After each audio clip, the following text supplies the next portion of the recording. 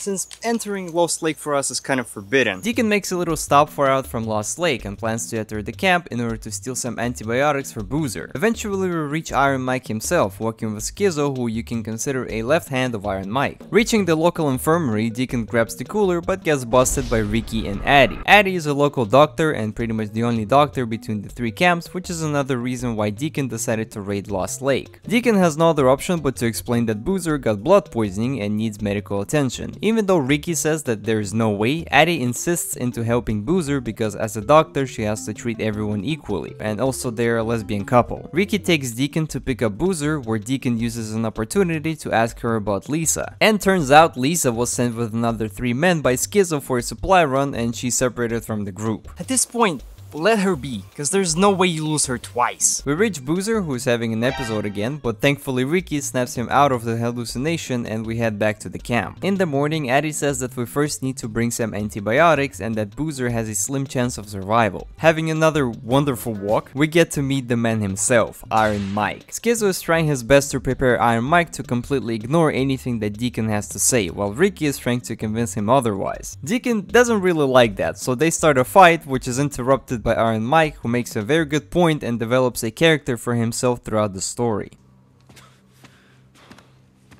Mike, Deacon was I one that know. brought me the girl. I know. And I know what kind of man he is. What he's done. He done any worse than you? Ricky? How about me? We've all been out in this shit, Skizzo. We've all done things we're not proud of.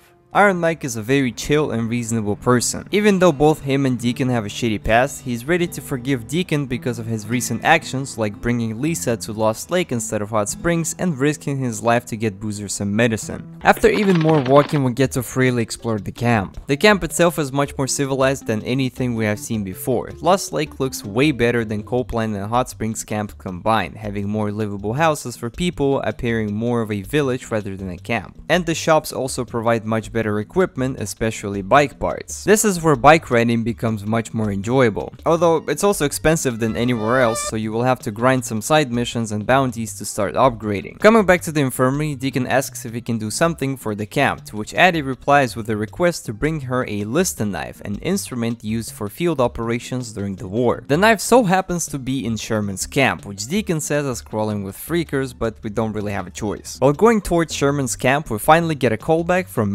O'Brien himself, who tells us that while he is looking for information on Sarah, Deacon has to help him out. Picking up the Liston knife and bringing it back to Addy, we drive back to O'Brien, who absolutely has zero information on Sarah as he's still working on it. To summarize O'Brien's missions, higher-ups at Nero are running a lot of their own field operations that neither O'Brien or people in lower rank know about. Deacon's job would be to pull up to their LZs and listen for the information that the researchers are recording on their recorder. Basically what we did 6 hours ago in the first Nero LZ. Before that though, we have to put a tracker on their main helicopter in order for developers to explain how we know the exact location of the Nero choppers. On that same LZ, we learned that Nero started noticing some freakers are being affected by some sort of mutation. This one in particular that they have on the table is called Bleacher, and they're physically stronger and more durable than regular freaks. This won't affect us in any way because all the freakers they're studying attack us pretty much every day. After our conversation with O'Brien, game sends us to the Rogue camp where Lisa ran away from Skizzo's supply run group. But I did a pretty big mistake and pulled up to the place at night, and let me tell you,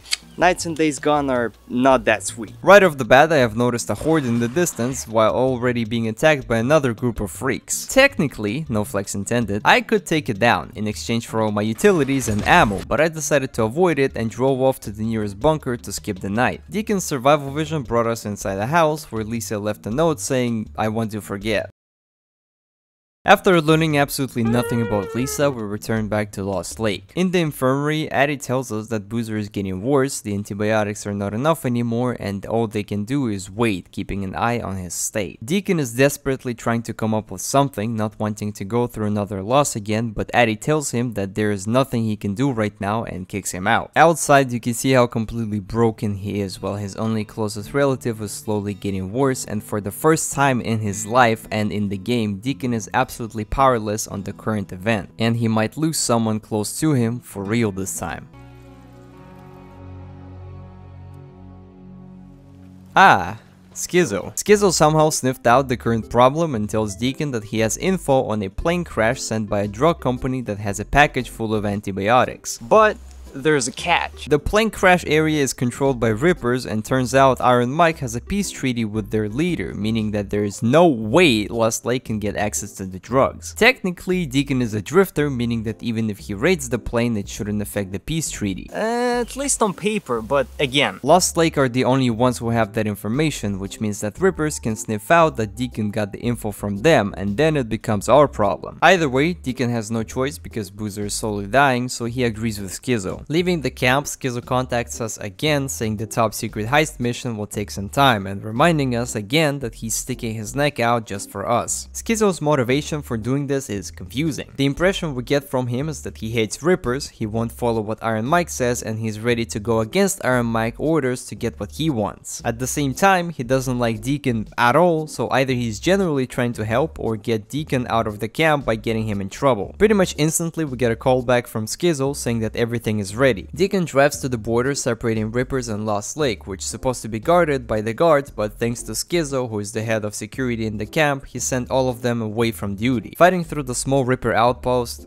Holy shit, is that an LMG? We finally reach the plane crash area where we see a cutscene showing us a huge bolt freak ripping a bleacher apart. And you already know what that means. This monster is called Breaker and it is a little bit difficult compared to the bear as this result of oral steroid consumption sprints at you once it sees you. The best strategy is to use your utilities and shoot exploding crates at the right time in order to deal significant damage. Once Bolt Sam Sulek dies off, we grab the medicine, which looks more like an Uber Eats from Chernobyl, and drive back to the border. There we reunite with Skizzo right when Ricky pulls up and by the red box on my bike realizes what we have done. Actual reason why Ricky drove here is because Addy was looking for Deacon. During the ride, Ricky explains that Iron Mike was already in negotiation with the Rippers and sharing the cargo from the plane. But Deacon mentions that there was barely anything left for Lost Lake, meaning that the Rippers oh, lied. What? Who could have known? This is an unforeseen move. We also learned about Deacon and Iron Mike's beef from the past. Apparently, Iron Mike would not pay for the survivors Deacon and Boozer would bring to Lost Lake, so he delivered them to Hot Springs instead, idea which Iron Mike hated because, well, I think it's pretty obvious why. William! William, if you can hear me, I need you to stop! Addy tells Deacon that there's no other option but to cut off Boozer's arm because his hand is the core of the problem. Deacon tries to come up with some sort of solution but in the end has no other option but to deal with the fact and help Addy do the amputation. Okay, okay, okay. Goodness, I damn it, we're losing. No, no, no, he's losing too much blood. You gotta stop. He's losing too much blood. Hand me the ball. Oh! Oh, no. Boozer, come on, man, come on. Oh, there! You're okay, pal. Where? Where do I hold him? Just hold him right there. Stop panicking and uh, Ryan!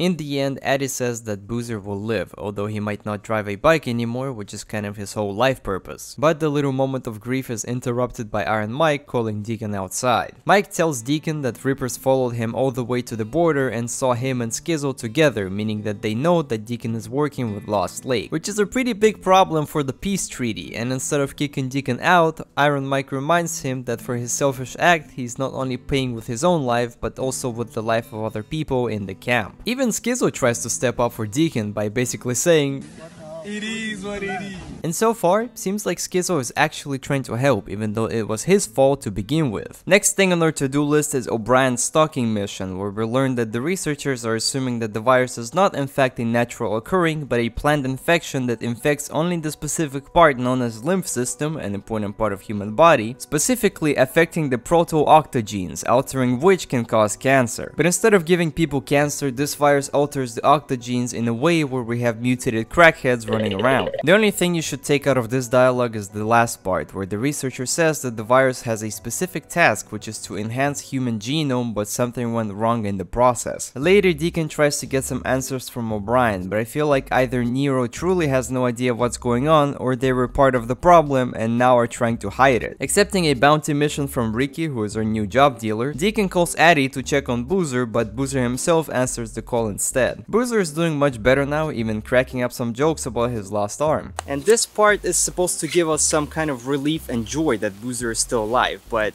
let's be real, we knew he's gonna be alive. Not only because his infection was not serious, like many reviewers who considered this to be a freaker virus, when in reality it was just a simple blood infection, which is relatively simple to cure, but also proves once more that Deacon physically cannot lose anyone or anything around him in the story, and the emotions of helplessness and being powerless over the situation that we saw him go through while Boozer was hurt are pathetic. What's the point of showing a very impactful character development and making players get a feeling of sympathy for Deacon in the process when couple hours later Boozer is completely fine and walks away with just the loss of his hand. Obviously, it's not just that, it's also the fact that Boozer's lifestyle is gonna change forever. As you might remember, he's a 24 7 drifter, and, well, without a hand, you can't really drift, right? Ricky's mission is to kill someone named Red Riley, who is in the middle of clearing his camp from freaks. Something to point out here is that a lot of drifters are now wearing helmets, which is a big no-no for my crossbow. So instead, I used a 2000 AQ move and used freaks to my advantage by luring a little horde to finish off the rest of the drifters. What really happened is I wanted to kill the drifters with a grenade, but that shit was too loud and caught an attention of a nearby freak, so I used the situation and ran away. In the end, I found Red Riley in the depths of his cabin, who was stupid enough to rush me with an axe, perfectly knowing that he is the main target. At the camp, Deacon decides to make it up to Iron Mike and has an idea of how to make the surrounding area safer. He takes Iron Mike to one of the caves up the mountains and briefly explains the whole Nero theory about freakers using caves to hibernate during the day and cooks up a plan to shut the cave up using some dynamite to reduce freak population.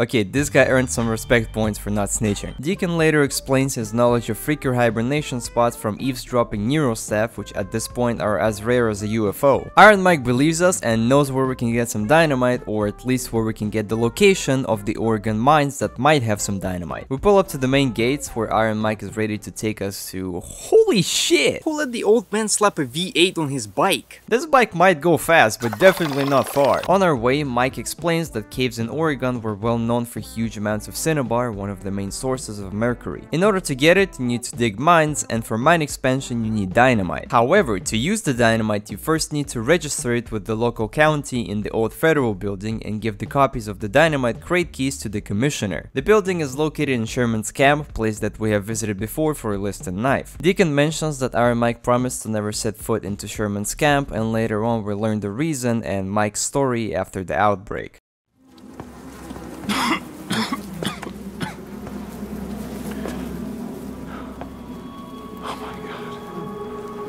what the hell, Mike? Two weeks in. The ammo was gone. Two sides called a truce. A meeting. Oh, we knew what was coming.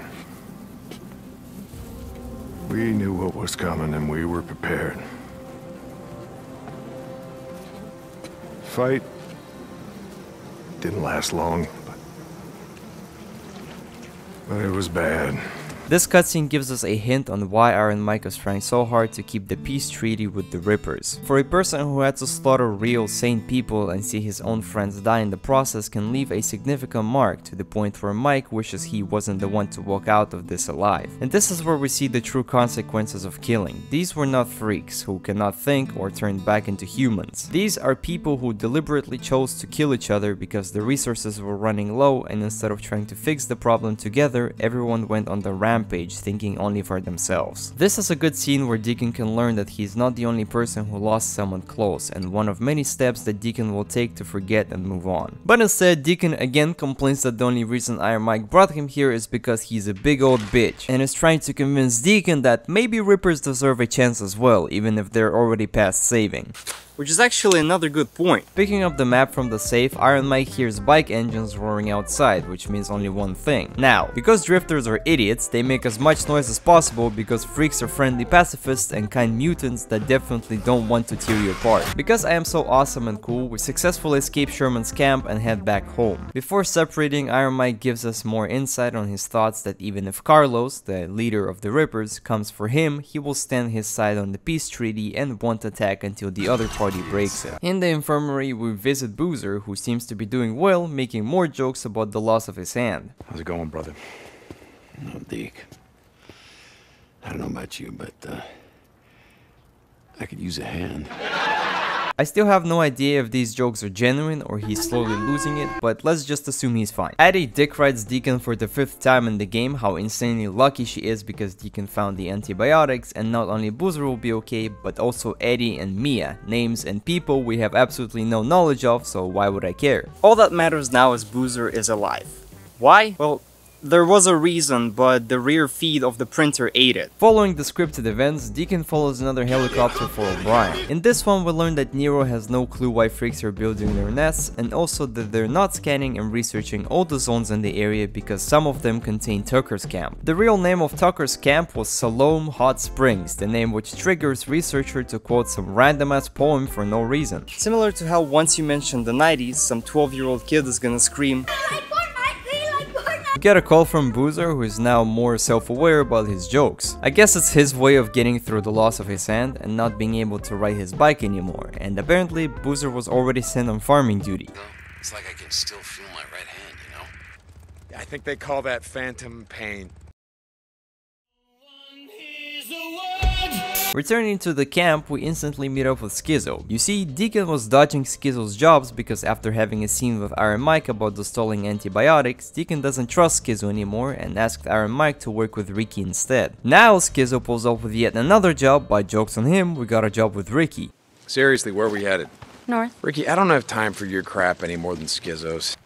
I'll do whatever it takes. Wow, he already forgot. What a dumbass. Does he have dementia? Nah, he's just retarded. Ricky says that they should power up the infirmary's respirator by fixing the hydro dam, which should be generating electricity, but it doesn't. Deacon provides an argument that if you own life support nowadays, you're pretty much dead, to which Ricky brings a very solid counter argument. What if it'd been Boozer? If it was Boozer, Deacon would snap his fingers and spawn a nuclear power plant outside of Lost Lake. The reason why specifically Deacon should help is because he lived up north and knows the area more than anyone else. Also, we don't really have a choice. We get on our bikes, which means another drive, during which we learn that Ricky escaped from Portland to Farewell and was actually drifting together with Deacon and Boozer for some time. She also asks Deacon about his and Iron Mike's little field trip, to which Deacon only mentions the map with TNT locations. Since Ricky is a water turbine expert, she gives her amazing expertise on the situation. That shit ain't working. But to make sure it doesn't work, she and Deacon touch the generator door just to realize it's not vibrating, meaning that it's off. In order to start the turbine again, Ricky volunteers to jump into the river and clear out the dam. Meanwhile, Deacon will go to the generator door and check for vibrations, which happens instantly as we can now hear the generator working. But that's only part of the problem because there's still no power. Creeper. Oh Man, On our way to the transformer, we learn that Ricky has a dad and a brother. Well, had, because after the evacuation, she never heard of them again. As well, Ricky tells us why she doesn't like Skizzo. A few months back, Addy and I caught him hiding outside our cabin while we were bathing. What? He's a peeping Tom. I told him if it happened again, he'd find out that my gun is bigger than his. What do you mean by that? We fixed the transformers, which are full of infected nests, so you already know, Molotov goes.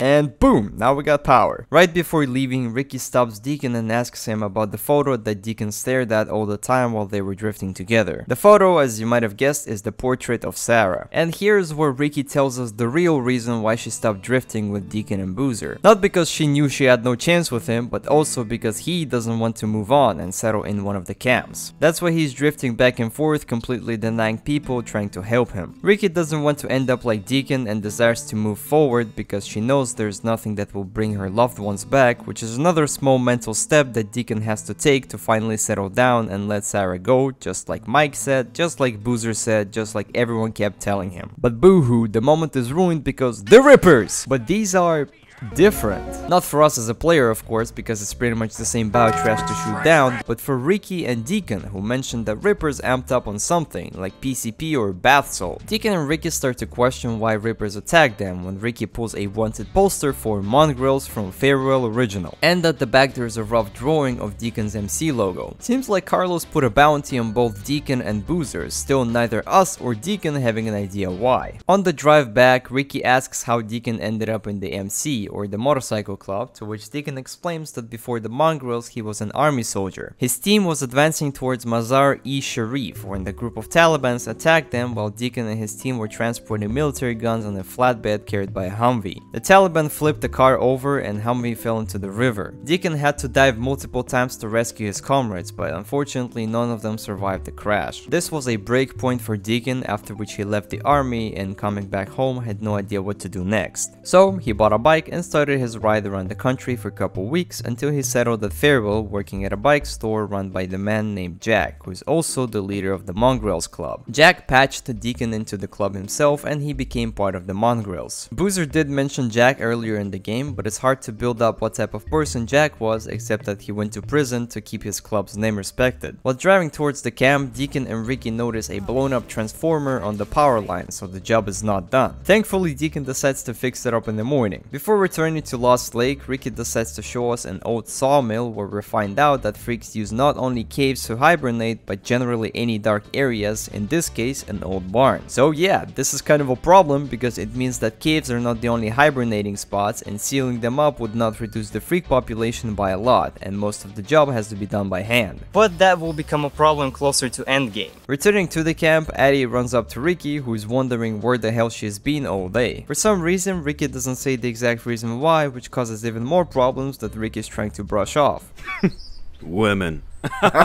Pretty clear there is a tension happening in the relationship, even though we have never seen them argue before. Maybe Addy is jealous, but again, that is yet another question for us to figure out hopefully. We get a call from O'Brien telling us yet another LZ to eavesdrop a Nero researcher. On this Nero field trip, researcher is noting that the freaker is wearing an almost new golden watch as well as less torn clothing. This leads to a conclusion that either the freak just found the golden watch or has been taking care of it for the past two years. There's also another theory from me that was not mentioned by the researcher that the virus is still spreading. The two theories of a researcher combined into one theory that the stage 2 infection freaks have a vestigial memories. Essentially, they have small bits of information or memory left in their brain and their subconsciousness or muscle memory is, you know, replaying them. Which leads to the guard asking a question similar to the NPC in the camp, if the infected still remember their past and if they're aware of what is happening. To which the researcher answers with CT scan tests proving that they're completely brain dead. We contact O'Brien once more to tell him that the job is done, to which he only asks if the researcher was male or female and then hangs up.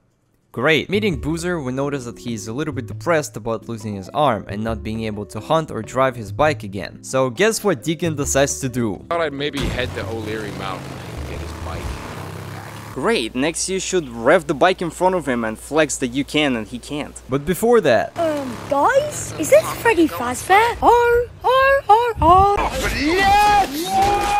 I fought the bear again. This one was a little bit tougher than the last one. I did try use the crossbow to beat him, in the process receiving bear combos that I still have no idea how Deacon survived, after which I decided to use the power of freedom. This was the first look at an animal affected by the virus, which I haven't seen until now. Retrieving the bike back to its owner, we can definitely see Boozer's depression boosting up even more after realizing the bike throttle is on the right side and the idea of using it for spare parts wasn't any better. But anyways, with this mission we completely finalized Boozer's He's My Brother story arc. Completing a storyline rewards you with a spray paint pattern on your bike. After the mechanic I went on a side quest hiatus because I really wanted to get the level 2 trust so I can upgrade my gas tank and durability. Since I pretty much burned all the nests around, the only thing that was missing were the bounties and ambush Since Ricky had only ambush camp missions, I took whatever she had. It didn't give me much, but it is what it is. Coming back to the camp, we meet up with Addy, who tells Deacon that he should do something about Boozer because the loss of his arm is a huge change in his life, especially since he's a full-time drifter. Deacon is not very sentimental and understanding person, as you might have noticed by the recent gift to Boozer, so Addy pushes him to try and cheer Boozer up. Deacon doesn't believe Addy, for some reason, and goes to check up on Boozer at the farm near Sherman's camp, where we get the best dialogue in the entire history of gaming.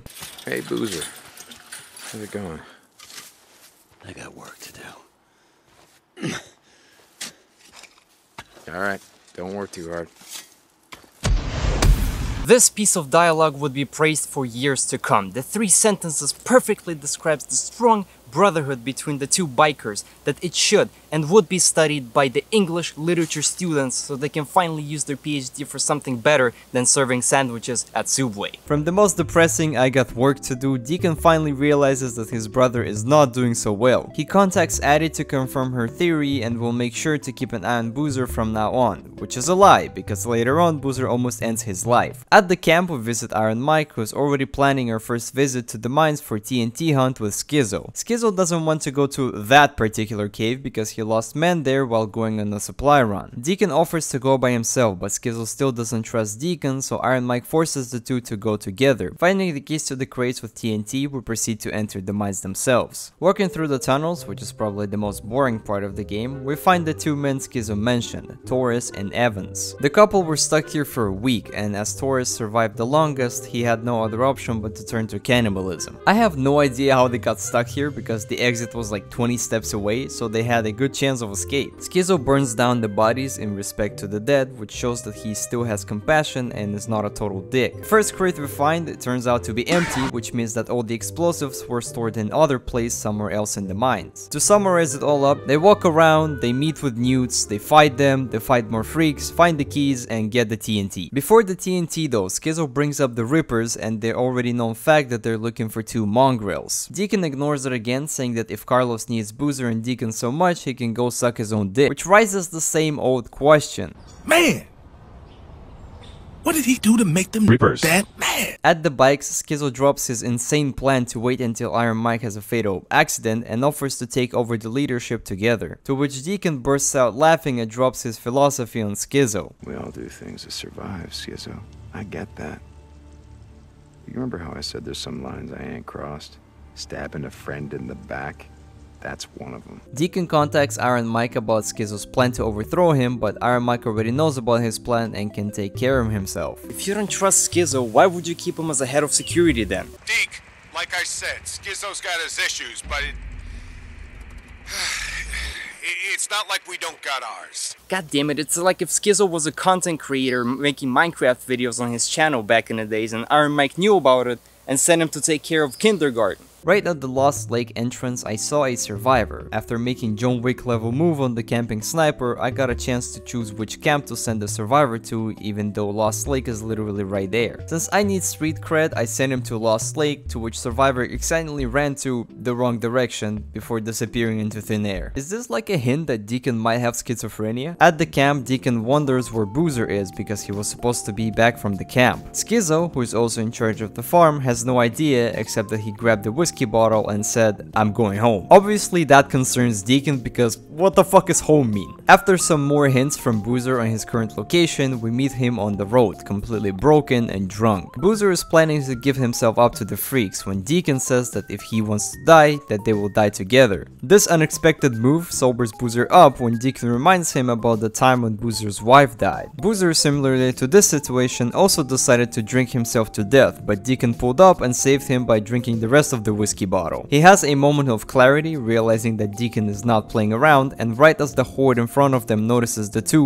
he decides to return to Lost Lake. Back at the camp, Deacon really takes Boozer's depression seriously and asks Ricky to make him a prosthetic blade for his arm. During the conversation, Deacon helps Ricky stand up, which gets some motor oil on his hand. I mentioned this because seems like Deacon got a very quick flashback to the same thing happening with Sarah. I don't know if this is some type of hidden deep message in the game, but again, I'm not not a critic, and as I remember, the director is not Darman. But fuck that, because yeah boy finally ranked up some street cred, which means it's time to max out your bike. I noticed that while talking to some NPCs, their mood and attitude change towards you once the camp rank is increased, which is a pretty cool attention to details.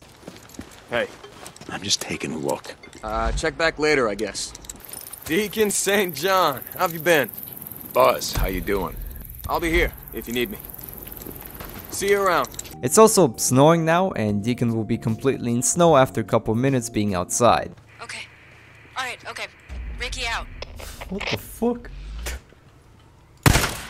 What the hell? Completing Ricky's side mission, she sends us a shopping list for Boozer's knife, which are located across the state. We bring all the materials, after which Ricky says that she needs some time. I thought she really needed some time to build it, so I drove off to do some side quests, just so the bitch can contact me again saying, oh, the knife is done. I swear to god with this game. Okay.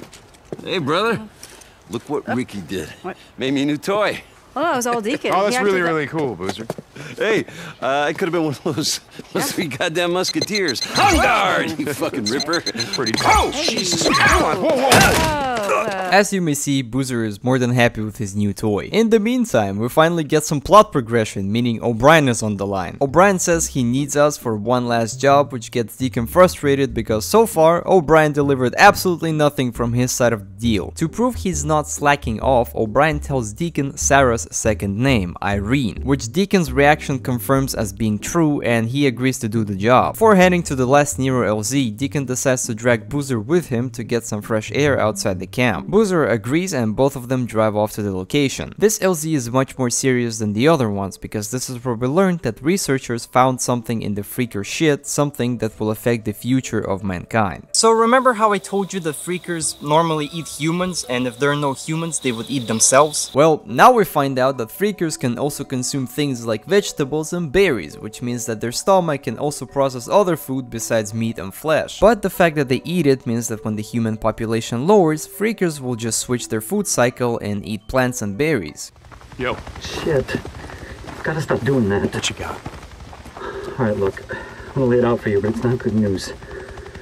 I finally found a guy who was willing to do some digging through some files that we, they, they used to keep while they still kept records. Okay, O'Brien. A- Anyway, uh, Sarah Whitaker, your wife, was admitted to the Camp MASH unit on the South Flats outside of Silver Lake. Uh, according to the records, she was in surgery for six hours and then was moved Okay, to. so she survived. The stab wound, she survived. Yeah, yeah. According to the records, she made a full recovery. And Then she was moved to another camp on the outskirts of Okay, Tumult. so, so she could still be alive. Even after all this time, she could still be alive, you're saying? No, What do you mean, no? it was overrun. Everything was overrun. There were no survivors. Deacon's last bit of hope has finally snapped, and he has to face the hard reality that Sarah is gone and nothing can bring her back. All those days we played as Deacon, everyone kept telling him that it's time to move on, even his best friend and brother. But deep inside, he was hoping to find her. And once he heard about O'Brien for the first time, that hope deep inside started to grow and forced Deacon to risk his life for at least some type of hint, just for O'Brien to deliver the news that Deacon perfectly knew are true, but his stubborn attitude never let him stop the search. This is a pretty big step that Deacon will take in the story. A step that will start up the moving on arc and calm Deacon's heart for real this time. Deacon returns back to the bike to find Boozer absent.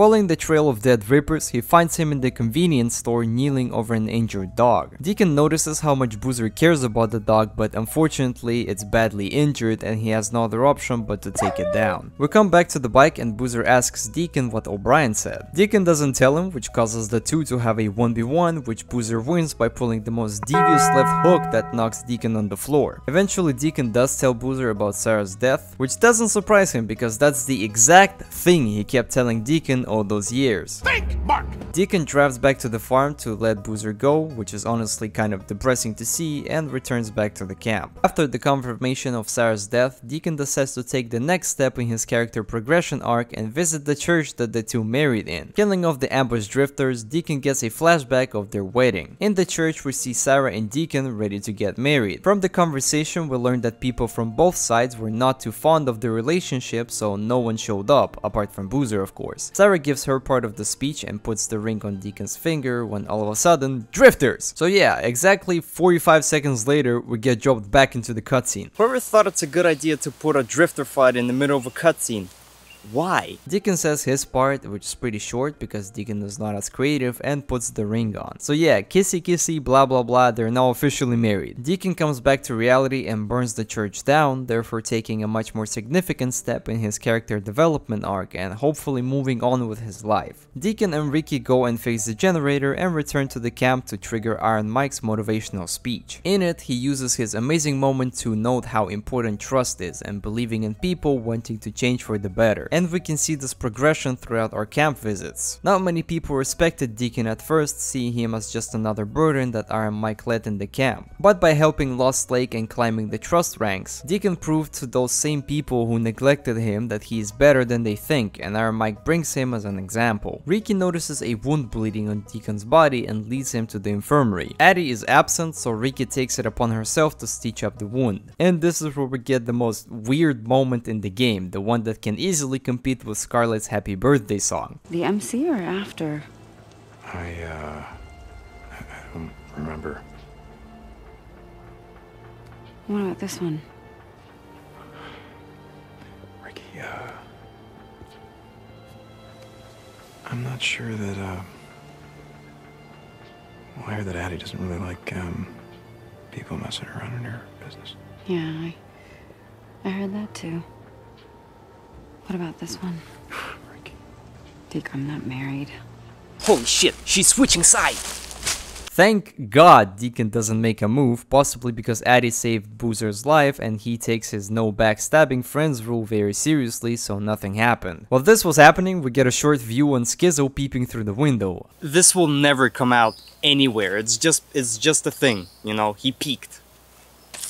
Damn it. Before Deacon leaves, Ricky suggests to stop and light a candle, which means that Deacon should stop being a bitch and finally settle down in a camp and live off the rest of his life. Or he has to kill someone. Well, I don't know. Next day, Deacon goes to Addy and cries about Boozer's depression again, requesting some antidepressant or something like that. Addy then tells him that she heard about the dog incident how did she hear about the dog incident? From who? And thinks that Boozer might use a little puppy around him to heal his heart.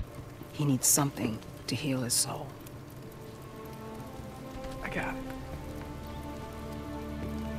Give this dude weed. So we head out to find Boozer a puppy. Reaching the place mentioned by Addy's patient, I decided to refuel but got ambushed by the drifters. To my surprise, the drifter managed to punch me out of the animation, which made me realize that Deacon using the gas pump is not a cutscene but is happening in real time. Then why is there a cutaway every time I refuel my bike? What type of second fourth wall breaking is that? Reaching the marked camp, Deacon finds a little grey puppy hidden inside the bathroom cabin. He lures the puppy out with a piece of meat and picks him up to drive back to Boozer. Upon gifting the puppy, Boozer is more than happy to see a little furball jump onto him and instantly takes him back to the house with no questions. I'm still pretty sure that's a wolf puppy, but we won't find out until he grows up. Right afterwards, we get a call from Skizzo who wants to meet up at the back of the lodge. Skizzo heard Deacon's idea to seal the caves and wants to help. The only problem is Iron Mike wasn't able to find the det cord to detonate the early found TNT. But Skizzo apparently has an idea where they can get some. But of course, when it comes to Skizzo, there's always a catch. The location is on the Reaper's territory, which makes Deacon completely deny Skizzo's idea as his plan might provoke a war between the two parties. But Skizzo said it won't be a problem since he found a hidden path that would get us there unnoticed, after which Deacon agrees to cooperate. Reaching the mentioned path, Skizzo suggests to go on foot so Reapers won't see us or hear us, even though Skizzo never mentioned that part before. It already feels like Skizzo is not mentioning something, but it's already too late to turn back. Crossing the hill to the Ripper territory, you can see them dancing in front of a bonfire doing some type of ritual by cutting themselves with knives and machetes. Sneaking up to the campfire, Skizzo explains that the Rippers are not feeling any pain thanks to some sort of drug that completely numbs their nerves. At the crosswalk, Deacon mentions that he used to drive around these parts and is sure that the transportation complex, the place that they're going to, is located on the other side, but Skizzo reassures him and we keep following his lead. At the location, Skizzo and Deacon pry open the facility where Deacon gets jump scared by one of the newts and drops the door. He volunteers to go in first to hold the door for Skizzo from the inside, but the door is too heavy so Skizzo drops it and it gets jammed. So now Deacon has to fight off a horde of newts by himself. Soon after defeating the newts we find the necessary device and Skizzo breaks down that he now trusts Deacon thanks to all the shit they went through. And right before leaving the storage unit, Skizzo turns his gun on Deacon and knocks him out before he can react.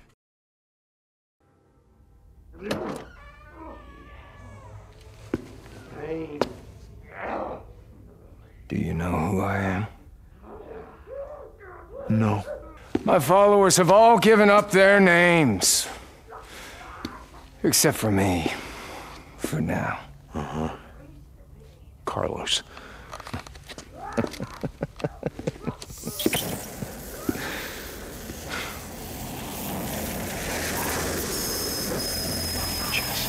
Yes! Oh, you're the guy! Wait, what? Jesse.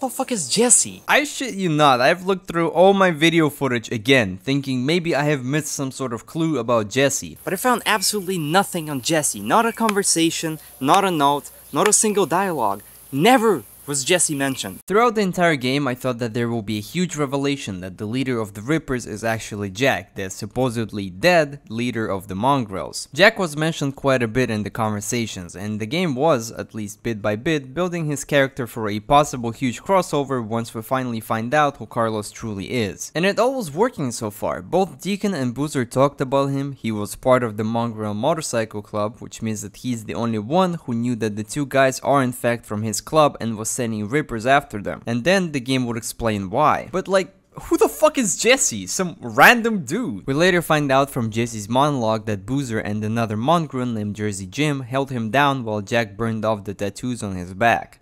But why? You know, maybe he beat up someone at the club, maybe he stole something from the club, or maybe he killed someone.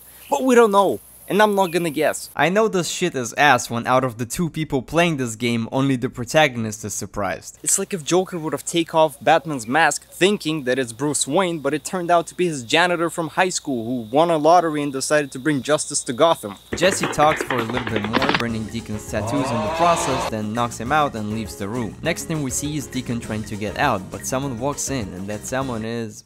Holy shit, it's Lisa! You see? That's a surprise! Who the fuck is Jesse? After freeing Deacon's hands, she explains that the reason why Rippers want to be like freaks is because they don't remember what or who they lost, being free from their past and are just existing with no regrets, which explains the message we found earlier in the game. She then leaves the knife to Deacon and disappears. After processing what the fuck just happened, Deacon picks up the knife and frees himself, starting a stealth sequence. Sneaking past the Rippers in the house, we get outside and witness an amazing view of Rippers enjoying their snorted substances to the fullest. Carlos took away all our gear, so we have to find it around the camp piece by piece. The first thing we find is our items, which is observed by a Ripper so drugged out he sees our cap as a holy grail of Venus. Knocking the shit out of him, Deacon gears up, sarcastically asking the Ripper why they kidnap civilians, but the guy's so out of his head, he's calculating how much molecules there are per square ice cream cone. Deacon notices that his cut is missing, so he asks the Ripper about it. The guy comes back to Earth and says that some guy took it. We retrieve the cut, and outside we see another Ripper drag Lisa inside the house, so Deacon decides to save her as a payback for saving him. We then again try to drag Lisa into the camp, which she declines, to which Deacon is completely done with her sorry ass and lets her out on her own. Sneaking back to the bike, we notice that a lot of Rippers are now driving towards the camp. We contact Ricky who says that the Rippers are already at Lost Lake and are looking for Boozer. Driving back, Lost Lake camp is completely in flames, with civilians getting slaughtered by the Rippers. I really didn't feel like fighting anything at all, since I had limited ammo after my shit got stolen and there are rippers with LMGs, so I squeezed my way through the battlefield. Eventually we reach the infirmary where Addy is held hostage by one of the rippers but then they hear the blowhorn which makes the rippers stand back. Deacon asks the survivor to find out what's going on to which he replies that Iron Mike is negotiating a ceasefire with Carlos. So now we head back to the lodge to check the situation.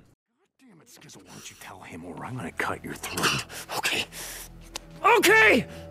I made a deal with Carlos. Okay? Mike. But it wasn't. It wasn't to sell out the camp. I swear. It was just them. The two of them. Him and Boozer. That's all that he wants. Just them. I did it to save the camp, Mike. I did it to fix shit. To restore the treaty he broke.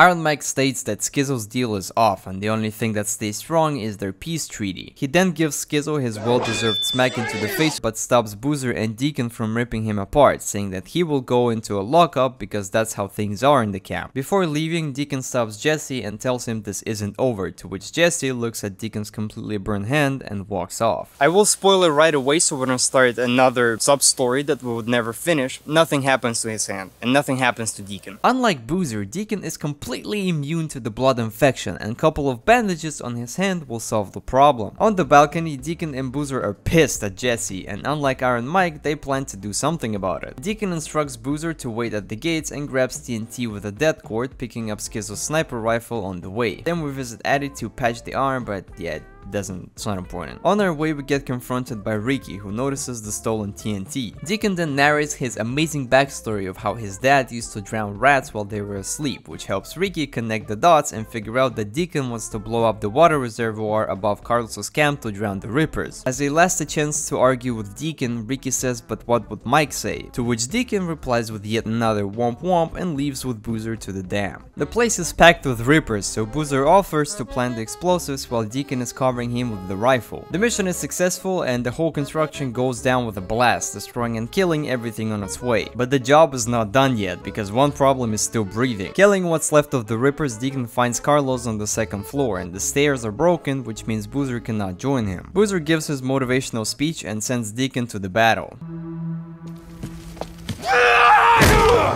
On the arena, Carlos catches Deacon off guard and feeds him angel dust, which causes Deacon to start tripping out and we start our boss fight. Since Carlos snorted 5 times of what he gave Deacon, he's a little bit more hyped up, while Deacon is more of a one bottle of whiskey kind of state, which does not affect our combat skills that much. The fight is underwhelming. I can't even say much about it. Yeah, it might be exciting for Deacon since he knows why Jesse is a bad person, but for the player, he's as evil as any other Rippers we fought. Killing Jesse, Deacon has his little shock episode again and then leaves to the house with Boozer. Over at Lost Lake, Deacon tells Iron Mike that he didn't have a choice, but Mike tells him he did. Everyone does. Deacon counters that by saying it's either us or them, to which Iron Mike replies that it's always us or them, and the problem is that many people in this world cannot figure out that us is all the people people that are left alive, or the people that survived the outbreak and now trying to fight off the freaks and rebuild back the society. Whether it's rippers or drifters or civilians, every life counts. To which Deacon drops a reality check on Mike saying that outside everyone does anything from stealing to murdering just to see another day. And this is where we get the two point of views on the current world. Yeah, sure, every life matters, but out of desperation people can do things that go beyond any morality, especially during times when you can get eaten alive by making the wrong move or killed in cold blood by a stranger because you have more food than them. And if you don't do the same, you will end up dead. But Iron Mike is right about one thing, giving a chance to the right people is important or we will never be able to rebuild what we lost to the freaks. Before Deacon leaves, Iron Mike lets him know that he cut Skizzo loose in exchange for never coming back to Lost Lake because he knows Skizzo would never escape the trial alive. At the same time, he believes that hanging Skizzo as punishment would be too easy, but throwing him outside with burden and sorrow of backstabbing the only person that trusted him is way more painful. At the main gates, Deacon sees Ricky trying to teach Eddie how to ride a bike, which kicks him into another flashback with Sarah. Deacon drives up to pick up Sarah from work, but the guard stops him immediately because Deacon doesn't have the required level clearance. Deacon, being Deacon, starts to square up right when Sarah drives to the gates and stops the guard. Then we ride off, this time Sarah controlling the bike with Deacon teaching her in the process. But right when they reach the turn, the couple has another near-death experience, but this time Sarah is the one who saves the day. Dude, what's up with Americans and driving on the opposite lane all the time? When Sarah finally comes down from her panic attack, Deacon flexes with his new patch Nomad, telling Sarah that he has partially left the club to spend more time with her. Then we get another yapping sequence until we see a police car driving to the research lab. Sarah has to leave us for an urgent call but convinces Deacon that it's nothing serious and leaves to the lab.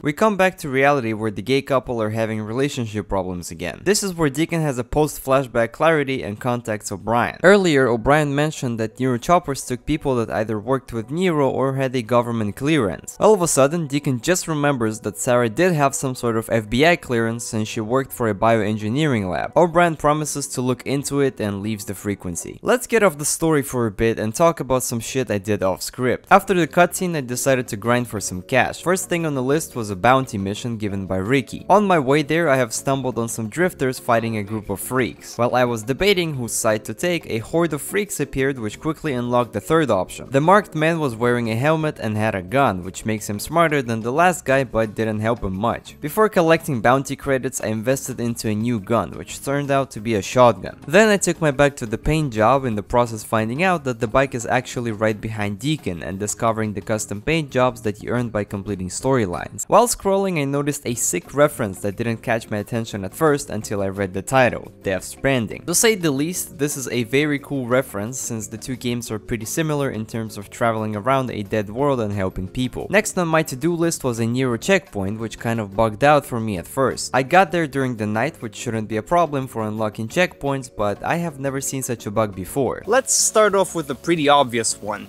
The generator is missing. I ran around the facility four times and couldn't find it. Later, thanks to the internet, I realized that this stone right here is supposed to have a generator next to it. What confused me even more is the Nero labs themselves were open and I could enter, loot them and even use the bed, but the Nero injector and the audio recorder were not present. I left to check out another location and coming back to the same Nero checkpoint again, everything was working as intended. Since I'm very lazy, I fast traveled to one of the destroyed ambush camps where I heard a bear having a fight with some something. I didn't pay much attention to that until in the corner of my screen I saw the poor bear flying. Now, I'm not gonna lie. I got shit scared, thinking what could possibly be strong enough to send a 400 pound bear to test out gravity. To my relief, the bear was fighting wolves and that was just a bug in the game.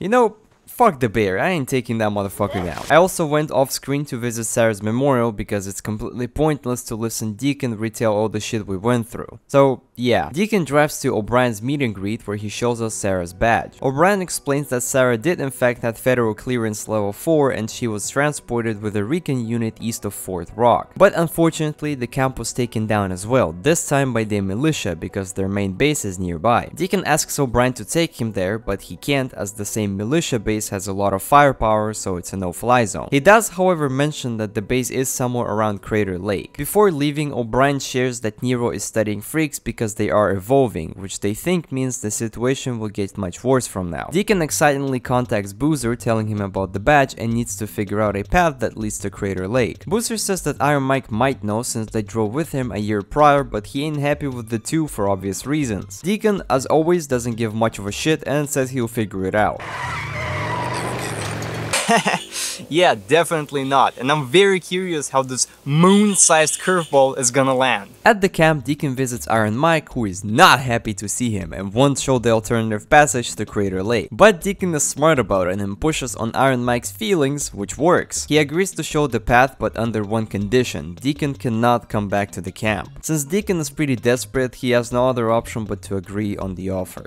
After giving up his leather jacket, possibly forcing a very small tear out of the player, he hugs Boozer goodbye and both him and Iron Mike start their ride. On the way, Iron Mike mentions that he took Jack fishing once, the same Jack from Grills, and says that he ran a pretty tight club, which also means that Deacon and Mike did have somewhat of a history before the outbreak. I cannot miss out on mentioning how fucking slow Mike was driving. Maybe it's supposed to be like a sad moment that we're leaving the camp forever now. I'm not sad. I've spent the last 12 12 hours in the same location. I got enough enjoyment for me to finally move on.